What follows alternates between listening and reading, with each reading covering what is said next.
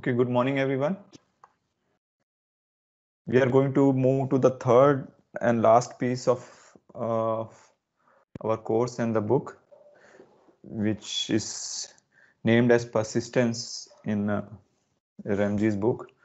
It's mainly about input-output devices.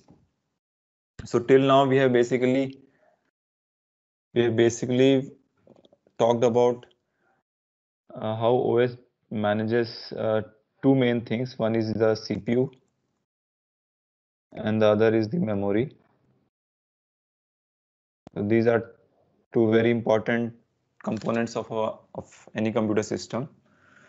And we have seen in detail how OS basically manages CPU virtualization, memory virtualization, and even uh, concurrency is also related to this only uh, in one sense. Basically dealing how how to synchronize different uh, processes, execution of different processes and the memory models and so on. Of course, concurrency is much more general. Uh, we have not talked about a special type of concurrency, which is called event-based concurrency.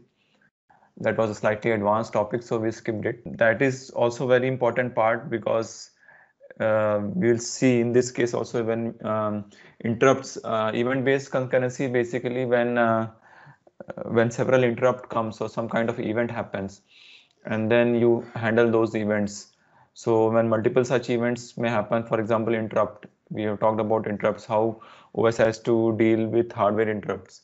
And hardware interrupts can can occur at any point of time and they have to be synchronized uh, and while at that time os may be doing some other work. So to be able to deal with those uh, interrupts properly without causing an inconsistency in its execution, the event-based concurrency methods are employed. We did not discuss it uh, uh, because it's slightly advanced topic, not covered in the syllabus of an undergraduate OS course.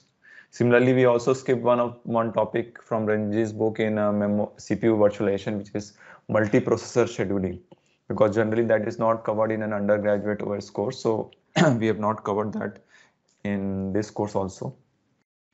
Similarly, we'll see in input output devices also, we will focus, we will only cover those topics which are generally covered in a undergraduate OS course. Although this books covers this uh, piece in uh, extensive details, but we will be only covering those topics which are generally as generally expected to be covered in an undergraduate course and also from which questions can come in different types of examinations if you happen to sit in GATE or other kinds of things so all those topics which will uh, from where questions do get asked we will cover all of them definitely. And other important relevant things but not touch upon very advanced topics. So um, the third piece basically uh, that is left is uh, is also an important part of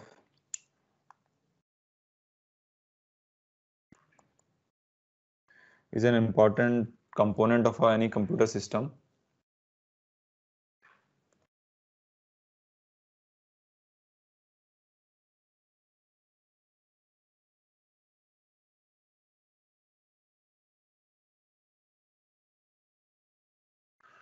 And this is basically which is about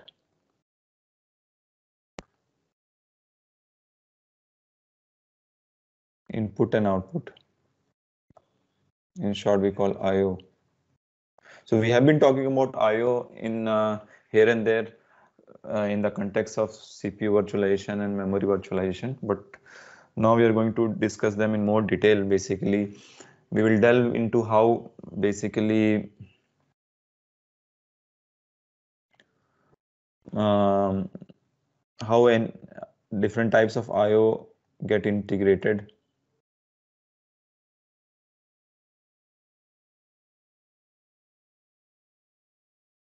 into a computer system and what is the role of OS uh, different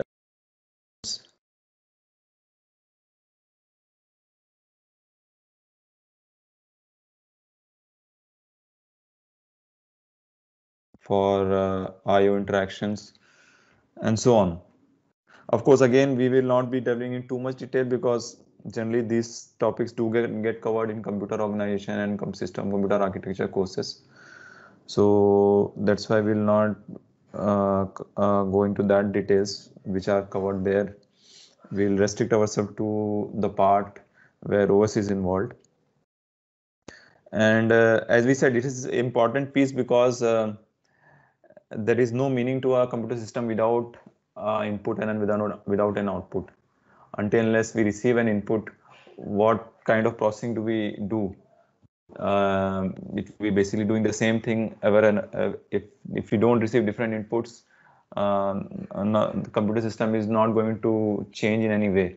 The, um, the processing will uh, be basically monotonous and if the system does not produce any output then there is no point in using a system so input output is very critical for any computer system and we have different types of uh, IO devices in, uh, in our system. So can you name some of the IO devices that are there in our computer systems?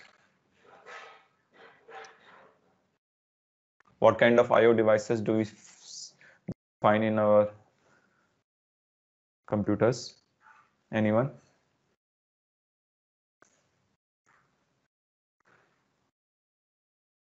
Keyboard, okay.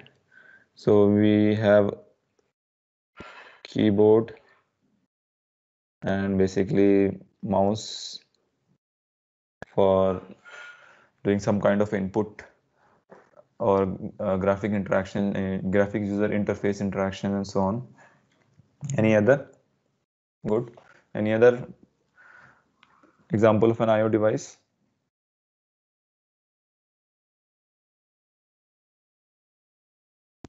Speaker, camera, okay, good. So sound and camera. Okay, again, these are multimedia devices. Monitor. So for visualization and output. Any other? you're missing of some very important uh, very important IO device. I am looking for that especially because uh, we are we are naming our this section persistence. Yeah, hard drive. So we are going to, in particular, we are going to focus on storage devices like hard drive, hard disk, and so on. Or now we have flash disk, flash base SSDs, solid state drives, because uh, uh, and I'll just talk about that in, a second. And uh, we have network card, net for networking and all those things. So these kinds of different types of IO devices are there, a variety of them. And within each category, there are multiple, for example, storage devices itself. There will be so many types of devices uh, uh, like uh, SATA device, SATA hard disk, SCSI hard disk, flash-based SSDs, USB drives, and so on. External GPUs, yeah, for other graphics, for dedicated graphics processing and even general purpose programming, and so on. Um, but uh, yeah, uh, GPUs will not be called as an I/O device specifically. That is, it is more kind of a uh, yeah we can uh, categorize another category of graphics um, devices and so on. But uh, again this is again a very huge uh, topic. If you have to discuss all of these different devices in detail and all that will be take another course. We are prob we are going to mostly focus on this particular uh, IO devices and the interaction that OS does because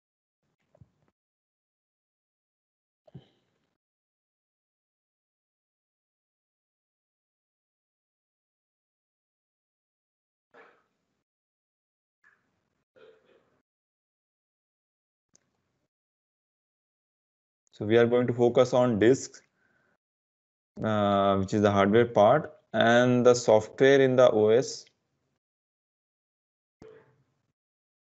which we call it uh, file system, which is kind of an abstraction of your hard disk that the OS provides to a user. So we are going to focus on this uh, these things in more detail because data because storing user data is very critical. Especially we have to store it in a persistent manner.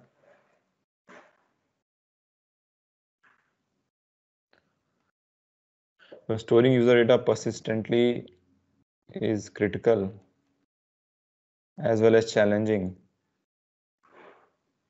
because then you have to store it uh, especially in face of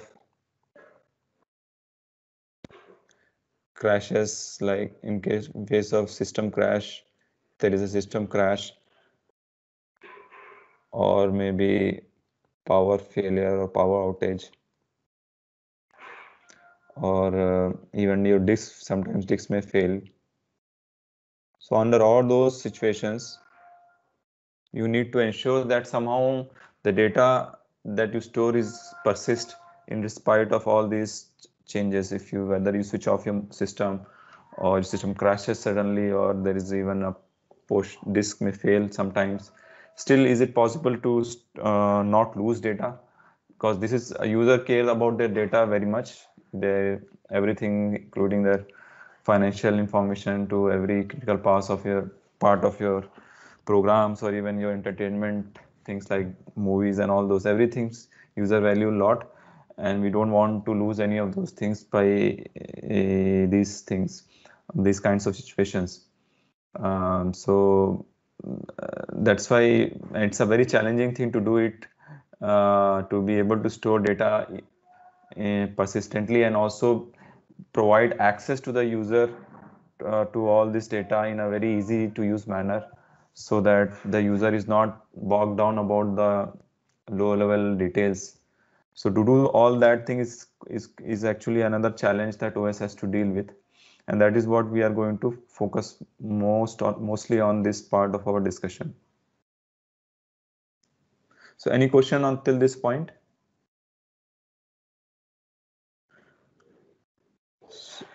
So this week we'll cover some topics and later on we'll cover some topics. So this week I plan to cover general uh, IO devices and their interactions with OS.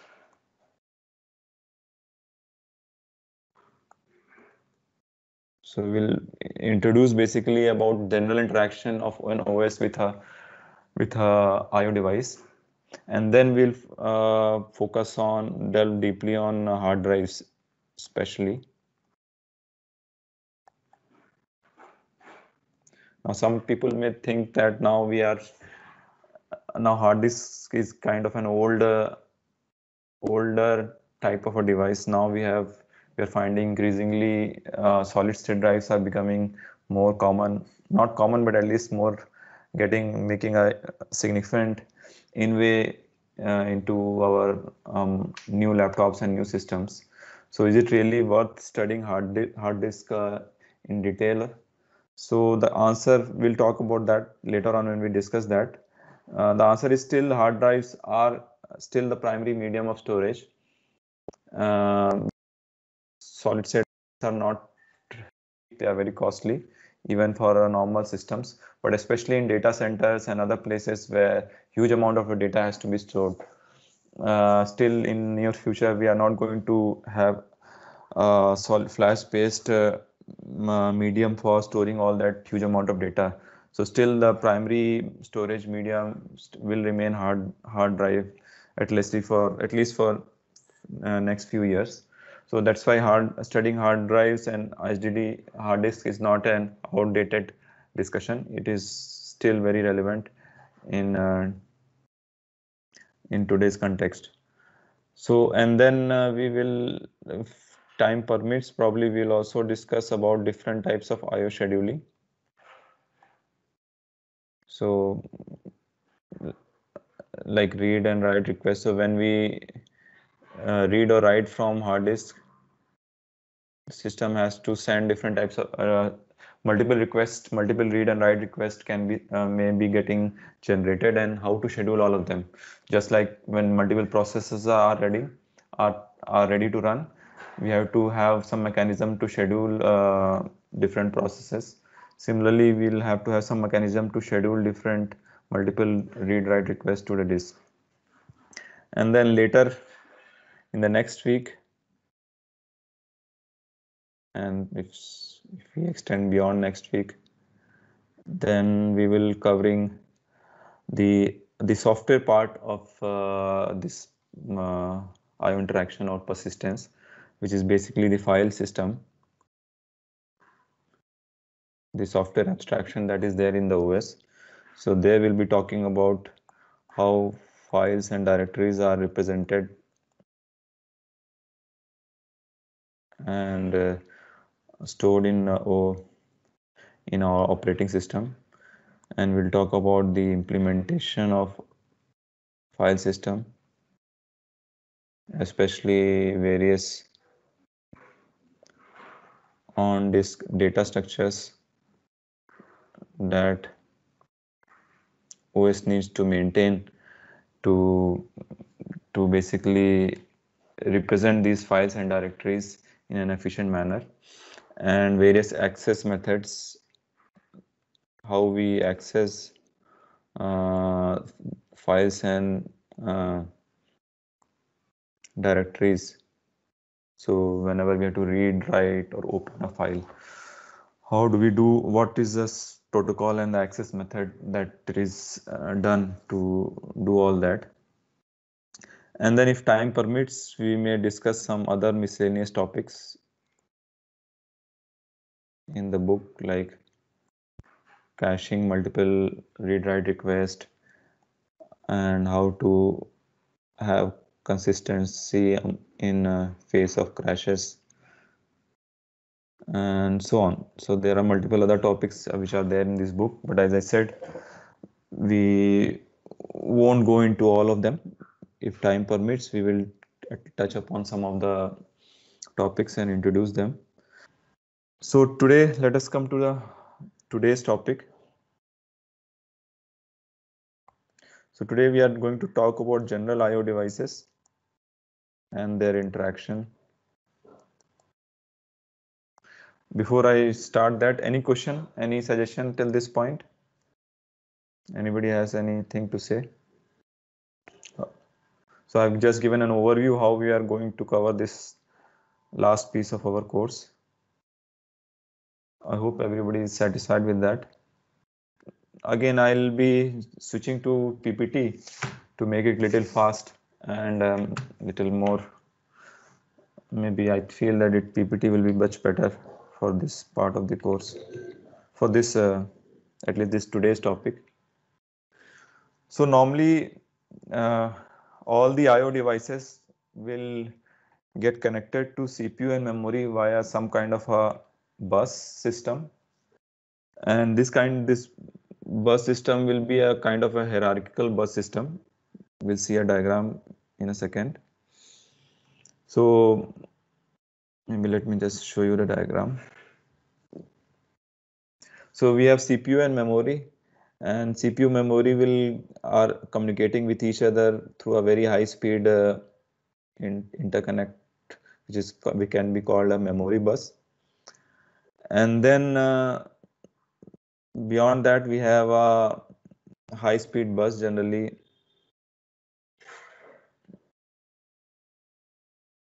Where uh, more faster IO devices like graphics and all those they get connected to that uh, second level of bus which is generally PCI Express and other kind of buses.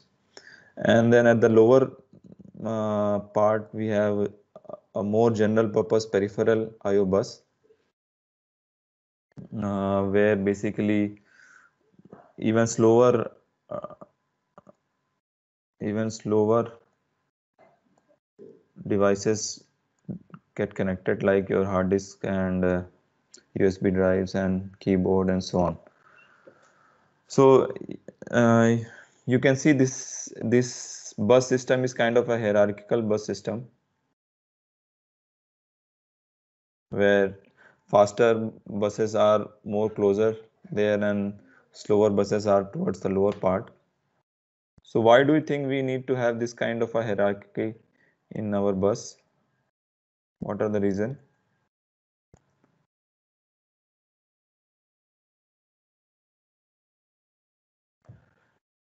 Why why do you think should we have this the system designer have come up with a hierarchical bus system in our uh, computers? Any reason? Anybody? Put simply, reason is simply physics and cost.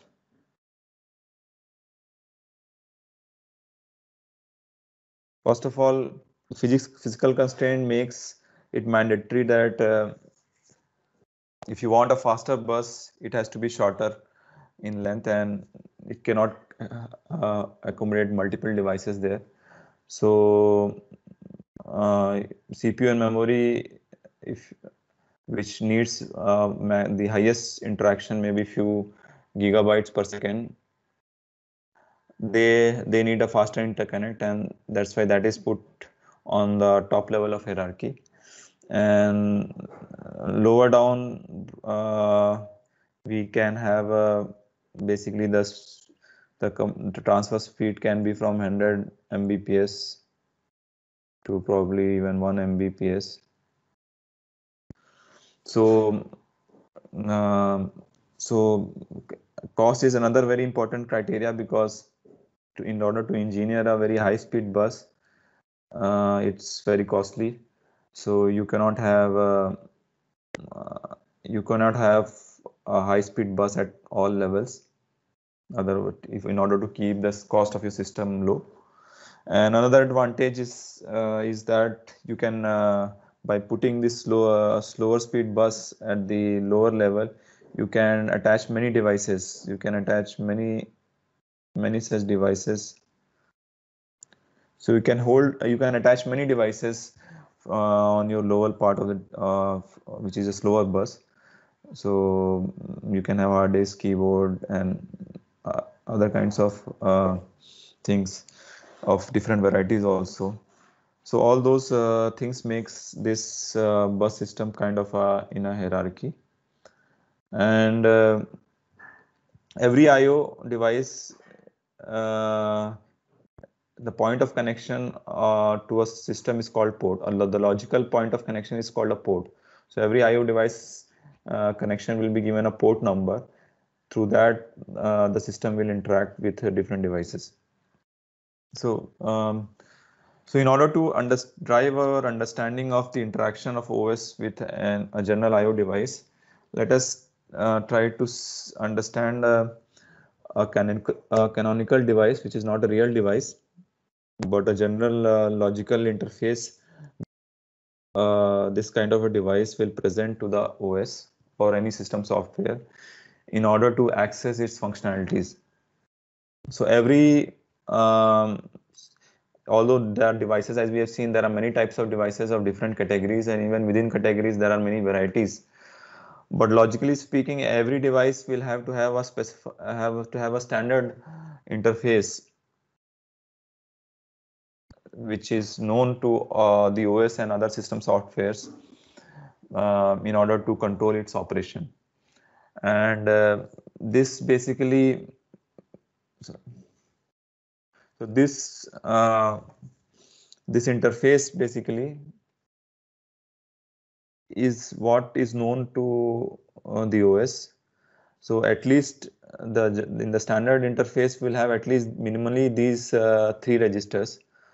One is called your status register, which will basically hold the status of the uh, the current status of the device, whether it is busy or it is available or whatever it will have a command register which will be basically used to communicate uh, various uh, commands basically by the OS to the device. So for example, if it is a hard drive, then the OS can issue read or write command to the device in order to do different operations. And there has to be a data register where uh, where the OS will basically the system software OS will basically transfer some data before it actually so before it, it, needs to communicate. The command is not just sufficient. We need along with the command we need to many times uh, transfer some data. So for example if you are trying to uh, write a file to this so that will involve some data movement. So there has to be some data registers which will store that data temporarily. So minimally these three registers will be there uh, in any device interface. And apart from that uh, there will be device specific internals which will be specific. So these implementations the internal implementation basically uh, is uh, specific to the device. And it can vary from uh, depending on whether it's a simple device or a complex device. Simple devices may have just few hardware chips to do some functionalities. And more complex uh, devices may have another simple CPU like a microcontroller to do some kind of a processing in it, within it. And it will have some general purpose memory to store some software or some data there. For example if you have a RAID controller basically which is used basically for redundant your uh, even if fail still your data is not lost.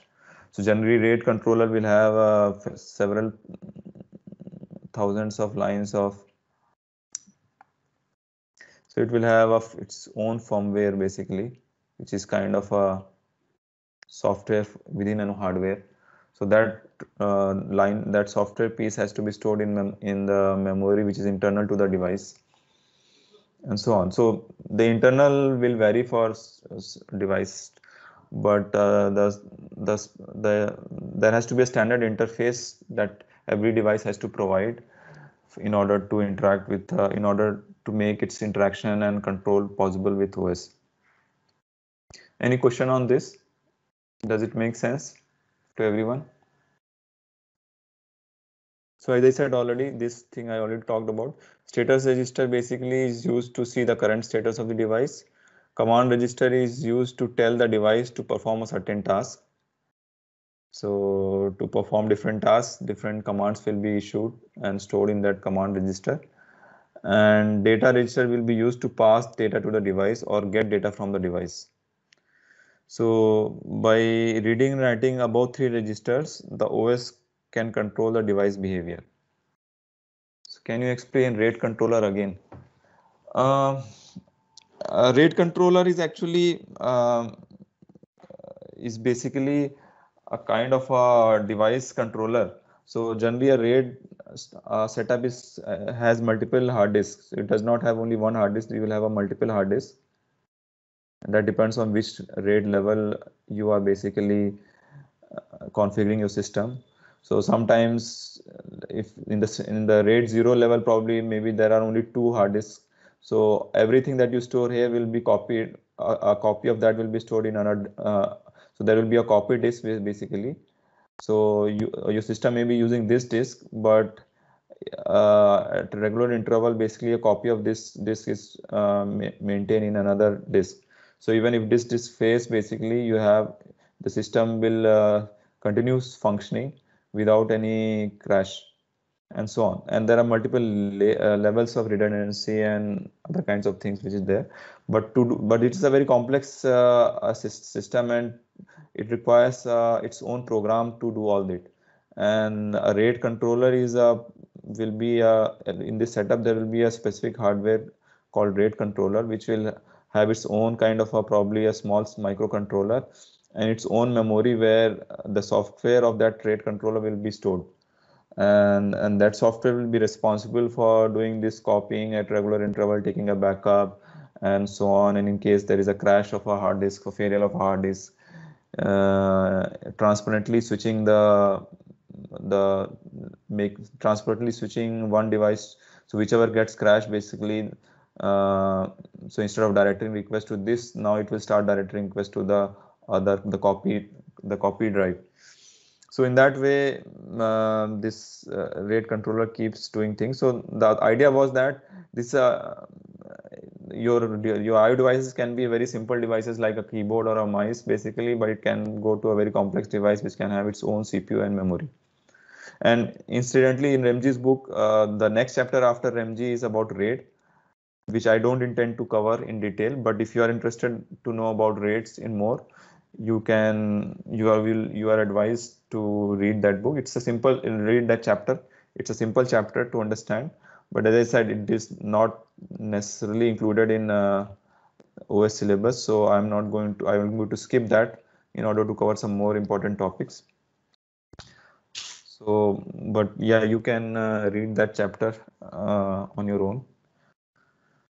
Okay, so uh, let me now, um, if so about these three registers, if it is clear, so let us try to uh, write a simple protocol of basically our hardware interaction, maybe IO OS interaction with IO device.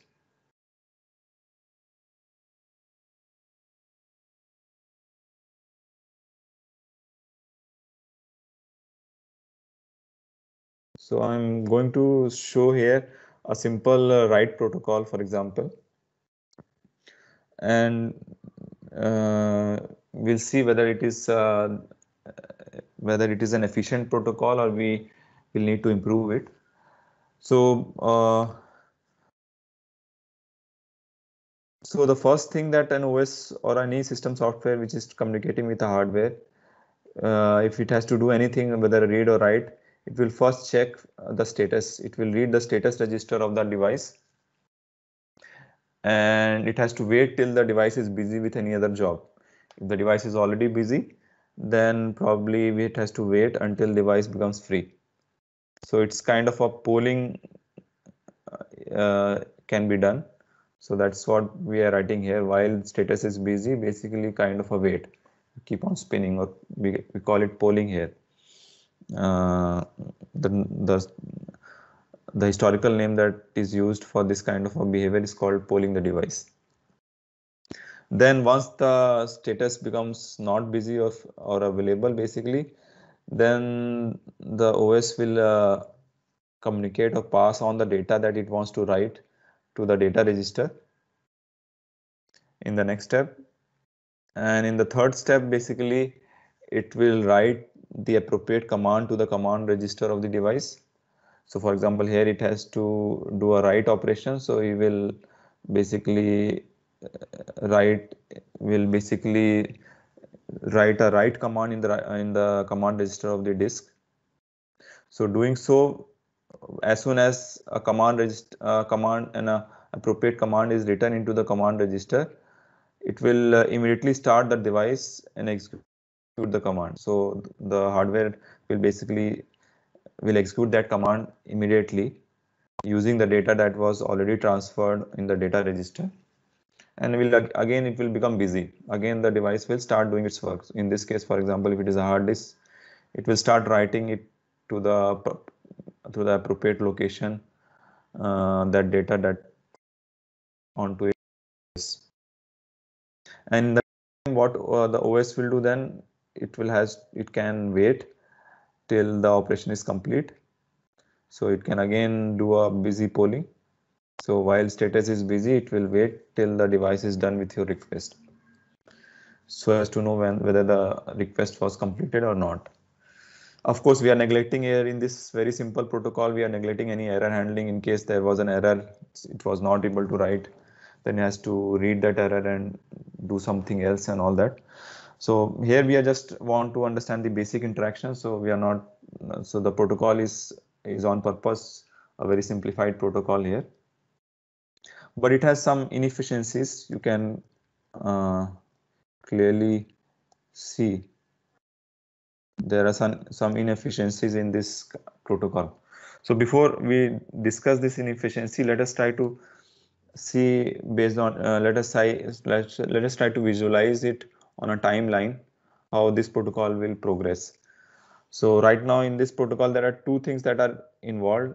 Your your your device, IO device, which is uh, the disk that we are taking into consideration in this example, and your OS which is running on your CPU basically or OS which is interacting and basically in this case mainly the thing which is which will be doing that job will be the CPU or which the thing which we are concerned is CPU.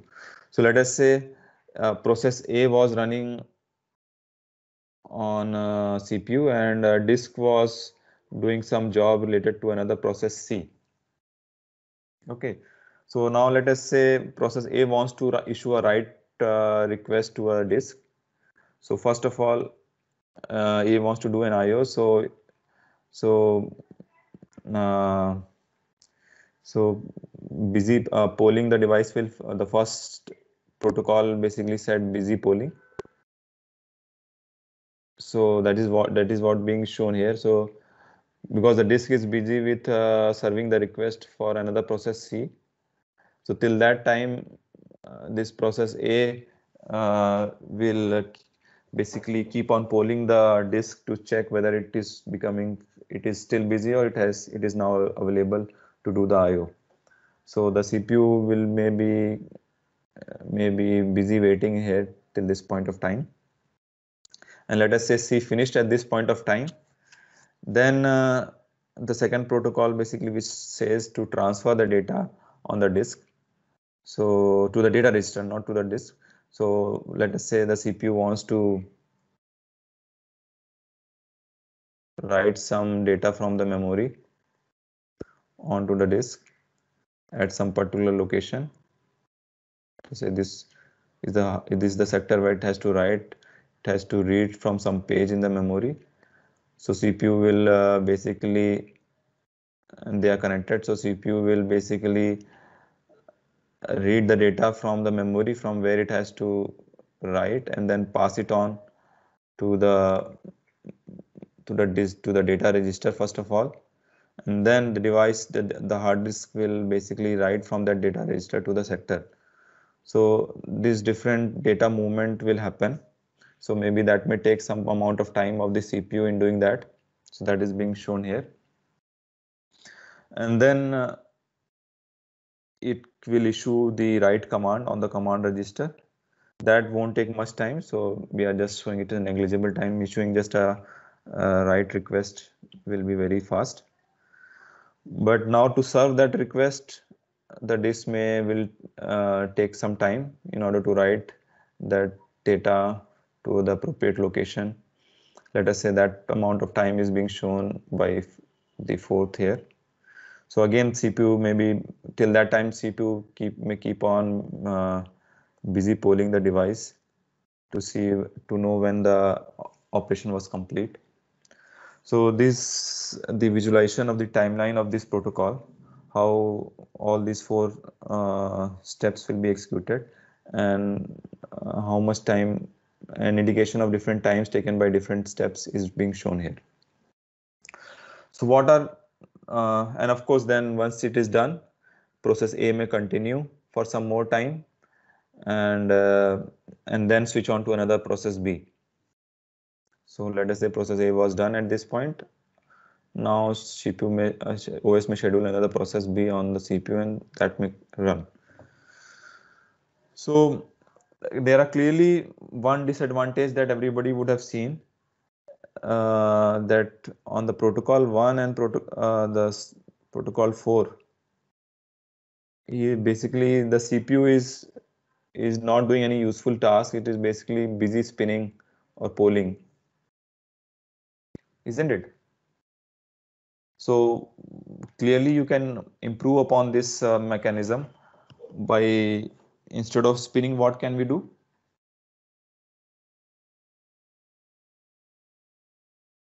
If we want CPU to not waste uh, CPU cycles in this spinning thing, what can be done?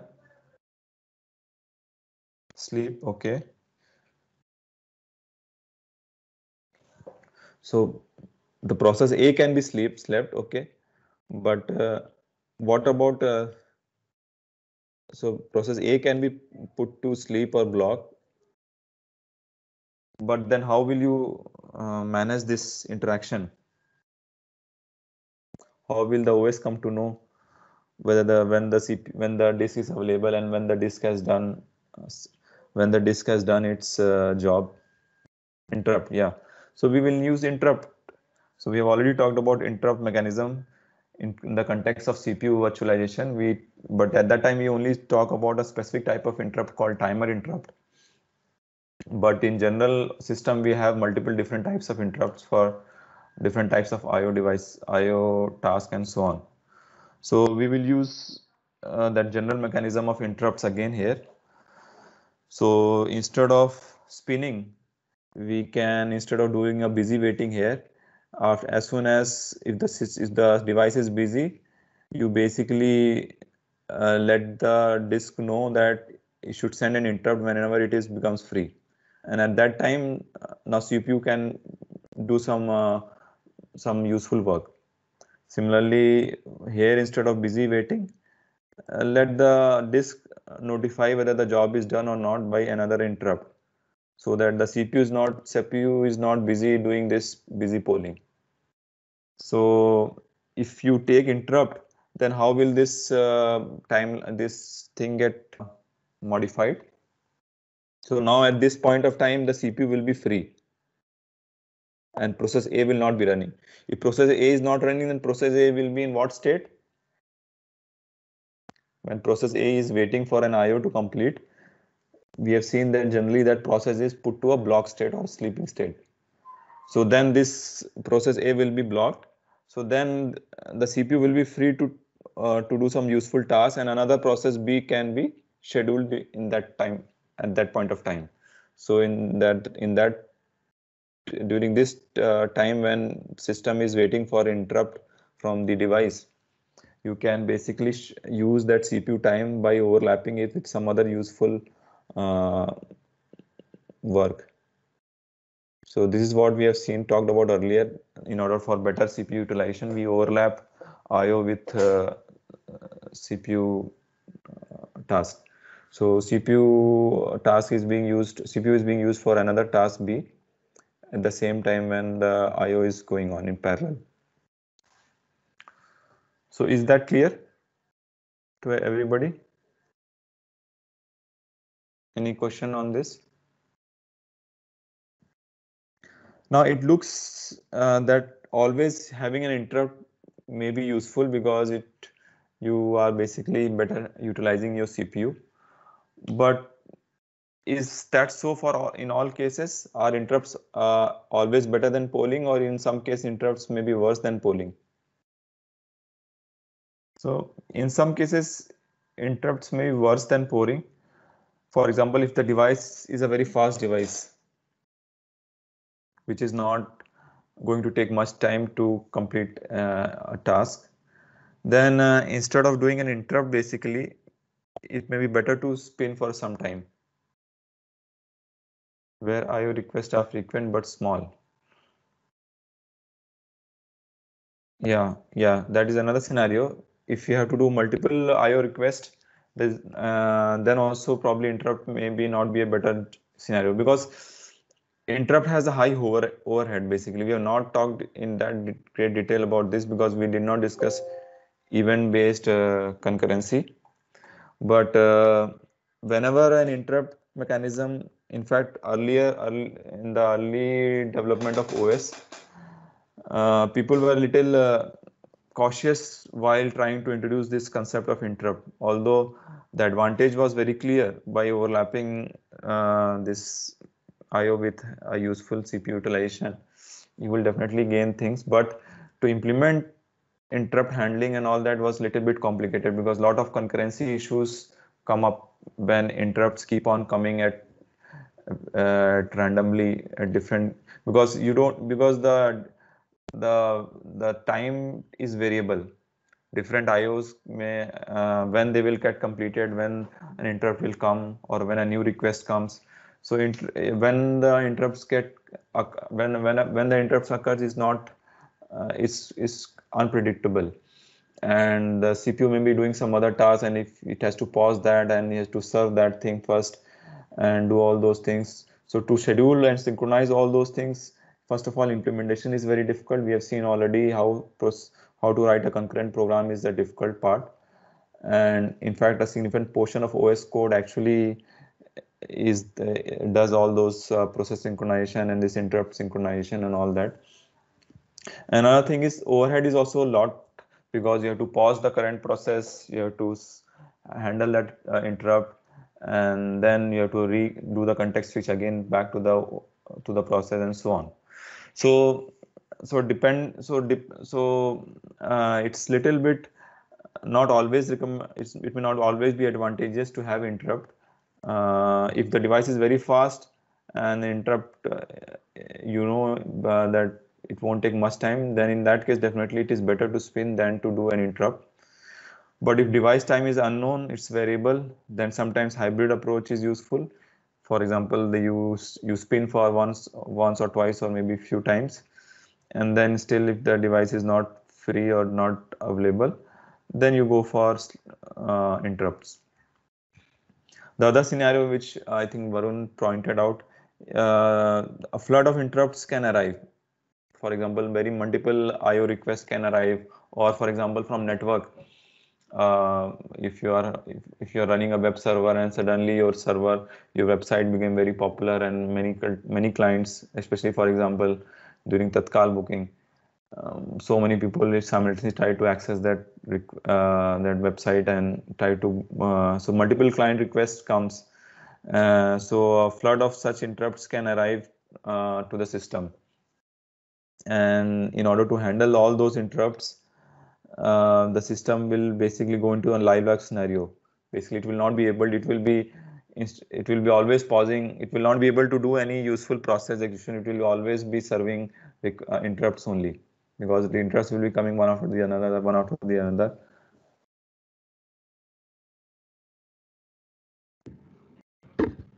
Um, uh, we'll stop the class i think. We'll continue from from here